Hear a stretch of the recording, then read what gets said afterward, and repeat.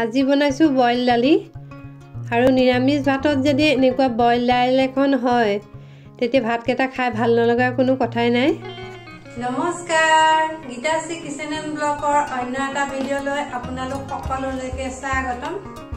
বজাৰত বিভিন্ন ধৰণৰ শাক পাচলি ওলাইছে তাৰে মোৰ পাকঘৰত থকা কেইবিধমান শাক পাচলি ল'লোঁ অলপ অলপ ব্যৱহাৰ কৰিম।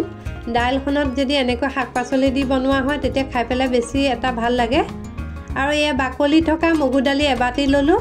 দালিখিনি ভালদৰে চাফা কৰি লৈছোঁ। কিবা লেতেৰা থাকে সেইখিনি চাফা কৰি পেলাই শুকানে শুকানে ব্যৱহাৰ কৰিম।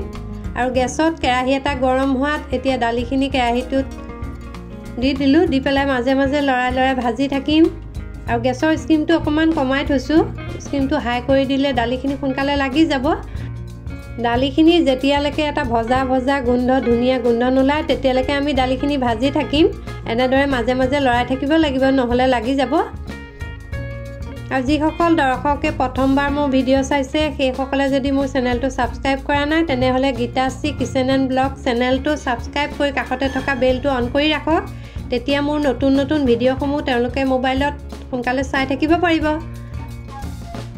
আৰু এয়া মোৰ দাইলখিনি ভজা হৈ গৈছে। এতিয়া মই গেছটো বন্ধ কৰি দিম।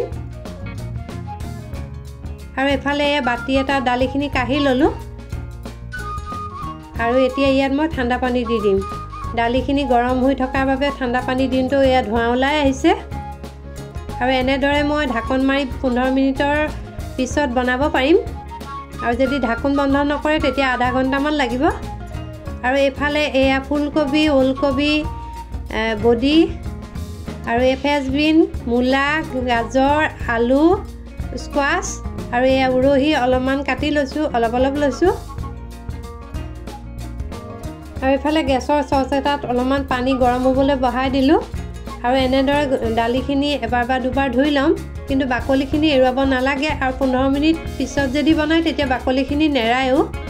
আৰু ধুই পেলাই পানীখিনি পেলাই পেলাই এয়া দাইলখিনি মই এতিয়া পানীখিনি গৰম হোৱাত গেছৰ চচটোত দি দিলোঁ।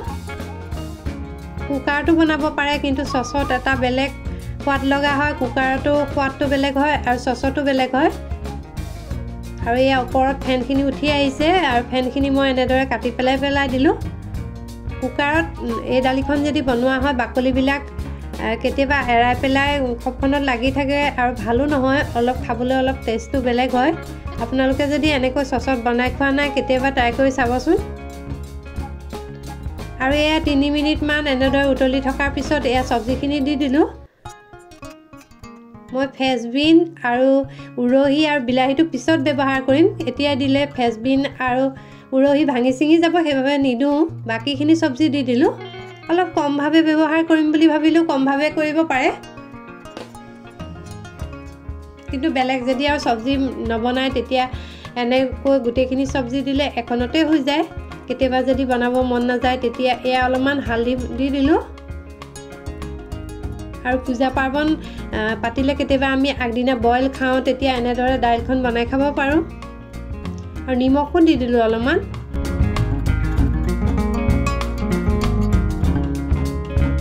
আৰু এয়া ঢাকনি এখনৰ ঢাকি দিলোঁ।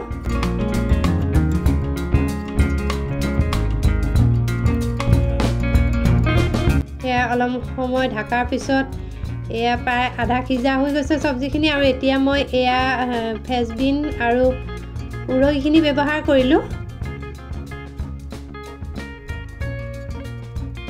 মাজে মাজে এবাৰ দুবাৰ লৰাই থাকিব। অকণমান সময় চচত বেছি লাগে কুকাৰতকৈ কিন্তু খাবলৈ বেলেগ এটা সোৱাদ হয়।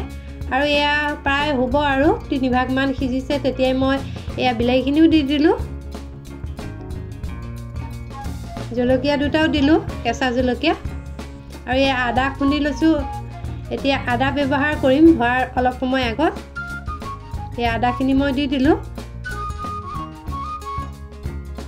আদাৰ লগত বেছি যদি ঠাণ্ডা দিন হয় তেতিয়া অলপমান জালুকো ব্যৱহাৰ কৰিব পাৰে। আৰু ভালদৰে তল ওপৰ কৰি লৰাই দিলোঁ। আৰু যদি দাইলখন চাই ভাল পাইছে ৰেচিপিটো ভাল পাইছে তেনেহ'লে লাইক এটা কৰি দিব।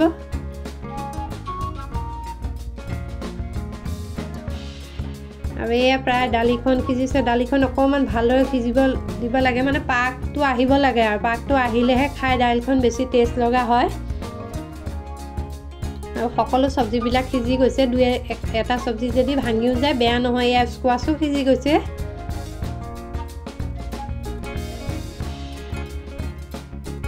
আৰু এইফালে এয়া ঘি ধনিয়াও ব্যৱহাৰ কৰিব পাৰে বা ঘিউ ব্যৱহাৰ কৰিব পাৰে হোৱাৰ সময়ত। যদি ধনিয়া ব্যৱহাৰ কৰে তেতিয়া ঘি নিদিব আৰু যদি ঘি ব্যৱহাৰ কৰে তেতিয়া ধনিয়া নিদিব। মই ঘি ব্যৱহাৰ কৰিছোঁ এনেকুৱা দালিখনত মই এচামুচ ঘি দিলে বেছি খাবলৈ ভাল পাওঁ।